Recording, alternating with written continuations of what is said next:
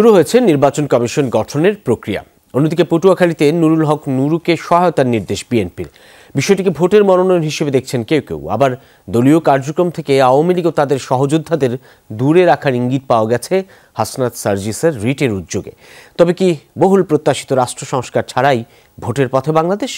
বিশেষজ্ঞরা বলছেন গণতন্ত্রের জন্য নির্বাচন জরুরি, তবে রাষ্ট্রীয় প্রতিষ্ঠানগুলো ঠিক করা এখন সময়ের দাবি। আন্দোলন কোটা নিয়ে শুরু হলেও জুলাই বিপ্লবে নাগরিক অধিকার আদায়ে পথে নেমেছে দেশবাসী। দলমত নির্বিশেষে অন্যায়ের বিরুদ্ধে রক্ত দিয়েছে ছাত্র জনতা। সরকার পতন হলে দাবি ওঠে রাষ্ট্রীয় প্রতিষ্ঠান সংস্কারের। স্বৈরাচার তৈরির বিদ্যমান প্রক্রিয়া ধ্বংসের দাবিও জানায় সুশীল সমাজ তথা সাধারণ মানুষ।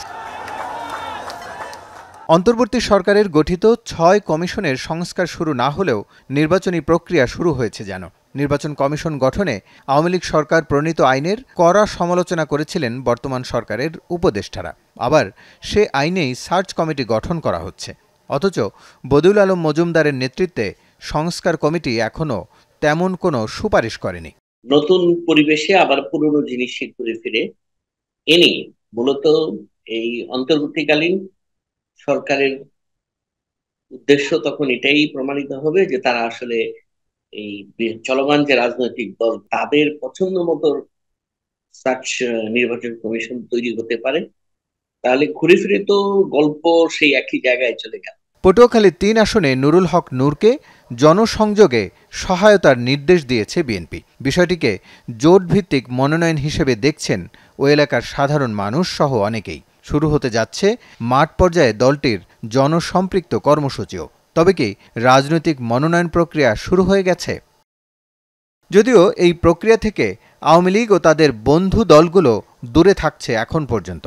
তাদের কার্যক্রম বন্ধে হাসনাত সার্জিস রিটও করেছিলেন সোমবার। যদিও পরে সরে এসেছেন আইনি প্রক্রিয়া থেকে। যতগুলো দল দেখেন, দেখবেন যে তাদের কার্যক্রম কোনো না কোনো ভাবে রয়েই গেছে। আপনি যতই তাকে নিষিদ্ধ করার চেষ্টা করেছেন, আমি জানি না তারা কি কারণে এই ধরনের উদ্যোগ নিতে চাচ্ছে? আমাদের রাজনীতি যেভাবে প্রতিহিংসা পরায়ণ রাজনীতির দিকে আমরা উত্তর উত্তর চলে যাচ্ছি, এটা আরেকটা মাত্রা করবে নাগরিক অধিকারের দাবিতে বিশ্বের বিভিন্ন দেশে বিভিন্ন সময়ে গণবিক্ষোভ হয়েছে।